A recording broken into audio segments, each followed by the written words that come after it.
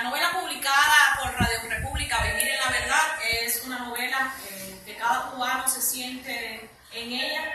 porque se habla de los problemas que vivimos acá los cubanos de a pie, eh, de la represión que vivimos, de los problemas de la sociedad, la falta de agua, la escasez de medicamentos, todo tipo de problemáticas.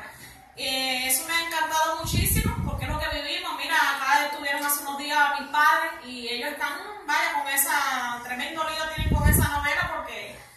ay Dios mío, pero eso, eso es lo que estamos viviendo aquí los cubanos hace mucho tiempo. Y realmente ahora en estos días ya se lo voy a mandar para que allá en Santiago se siga reproduciendo esa novela y la gente se siga retroalimentando de, los problemas